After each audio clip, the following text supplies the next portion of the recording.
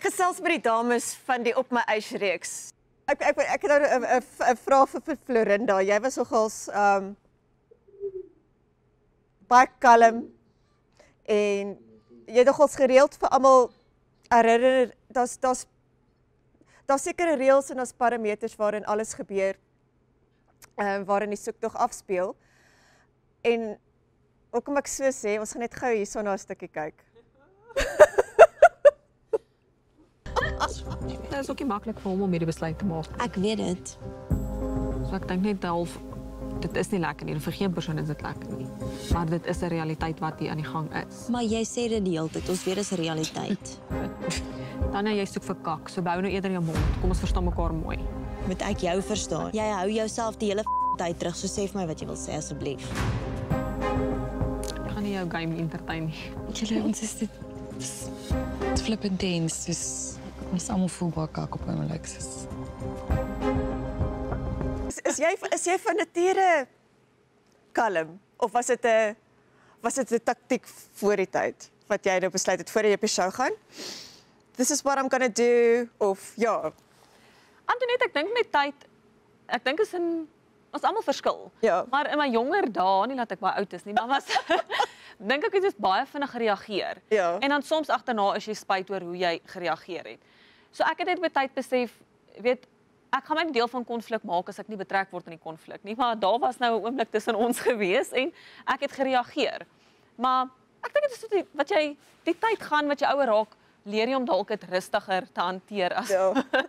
wat jy dalk 'n paar jaar terug sou dit hanteer het. Oor wat en en en Tanya, jy jy moet jy moet 'n pre- Antoinette met jou help soos wat ek Hendrey altyd gehelp. jy moet nou eh, wat is jou take op daai insident? Ek was honger gewees. Sy het ook gevra vir wyn op daai gedeelte.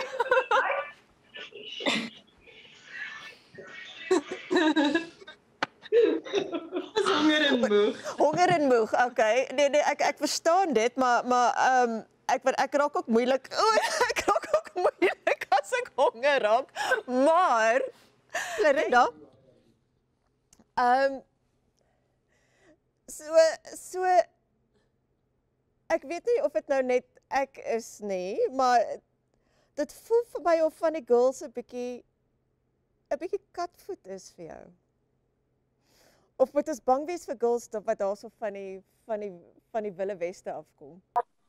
Nee, ek dink glad nie enige iemand hoef bang te wees nie. Op die einde van die dag is ons almal mens en wat gebeur het het gebeur. Emosies het definitief 'n rol gespeel. Ek meen in ons geval het ons almal het 'n opoffering gemaak of dit nou klein of groot is, 'n opoffering is 'n opoffering. En van ons het kinders wat by die huis was. Ek meen dit raak intens. Dit is 'n gedeelte van jou. Ek meen 'n dag as jou ma se loop jou hart buite jou rond. So jy verlang huis toe. So ek dink emosie het 'n baie groot rol gespeel en dan is soos wat ons soos wat Tanya sê sy's honger en daai goed. Dit speel 'n rol. Ons almal raak onplesierig as jy Ja. koud kry of honger is. So nee, ek dink nie enige iemand hoef katvoet te wees nie. Ek dink net en ek gaan dit herhaal. Ek het ook my tyd gestap om myself te vind en ek weet wie ek in myself is.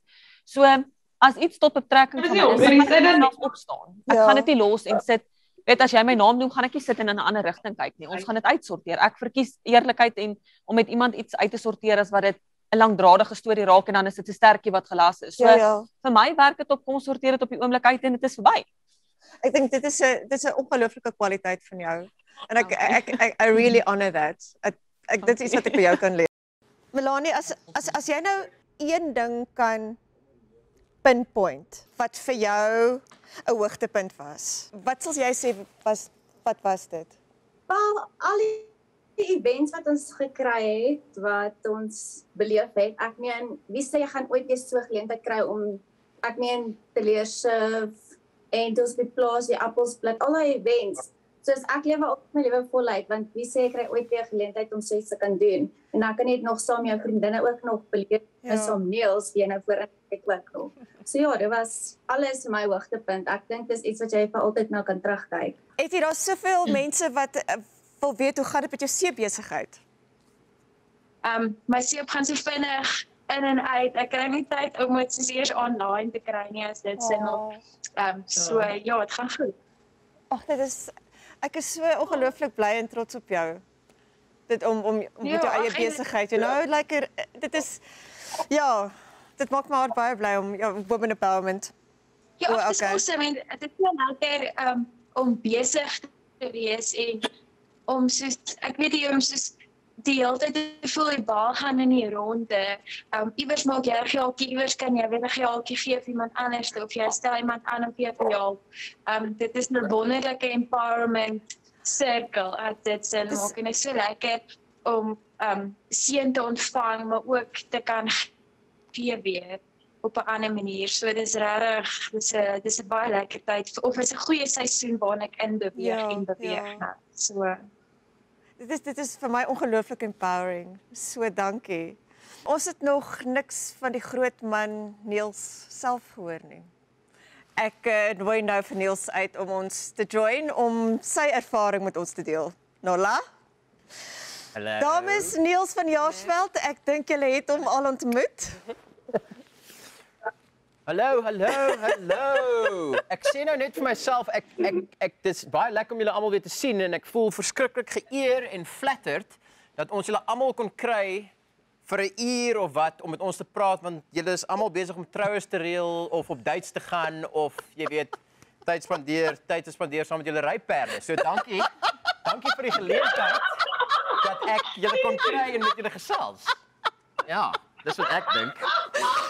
10 uit 10 10 uit 10 vir die ryperd ene 10 uit Dankie, 10.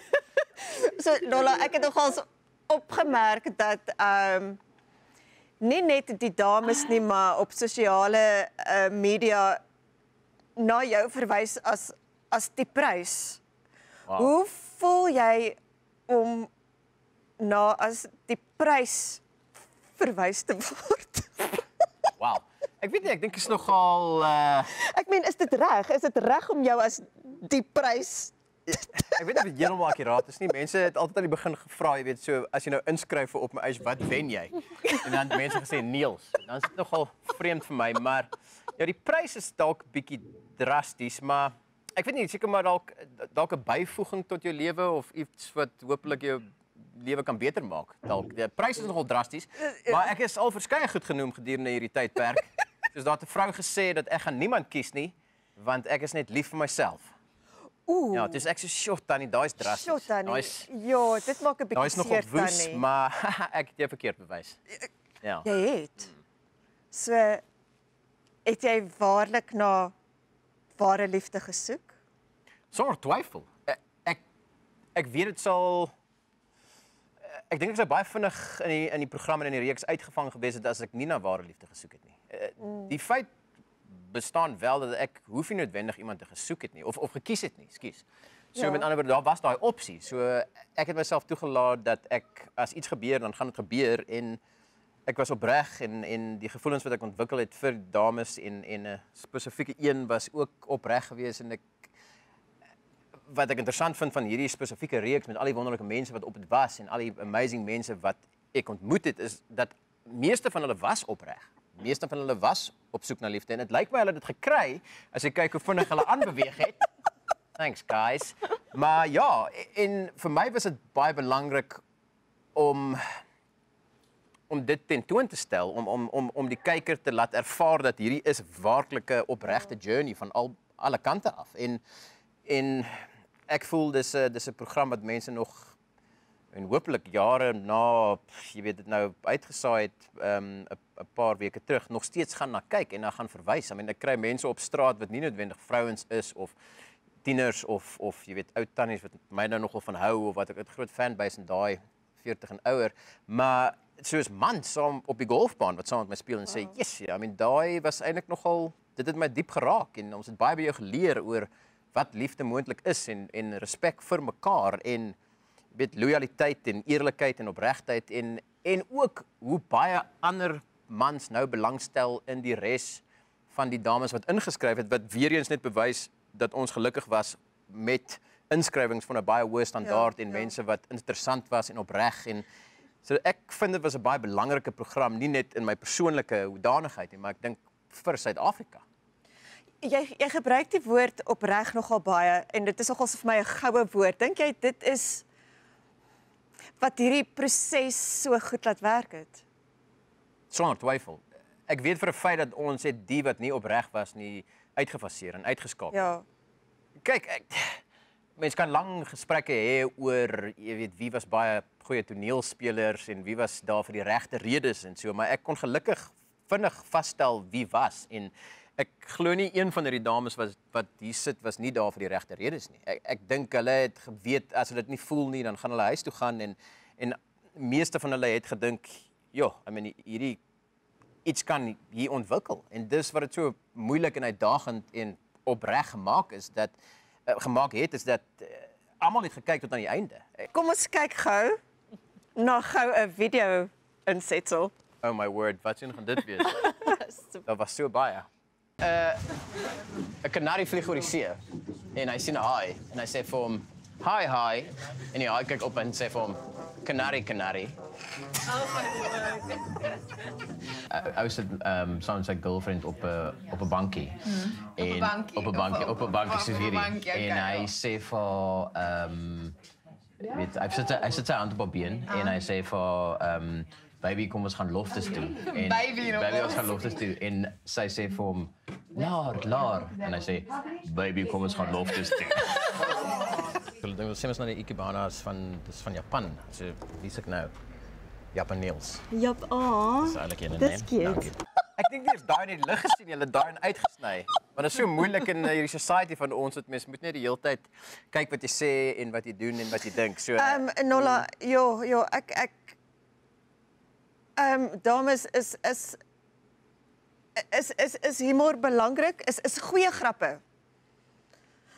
Is is is snaakse grappe Ja, ja. belangrik vir 'n vir 'n vir 'n verhouding?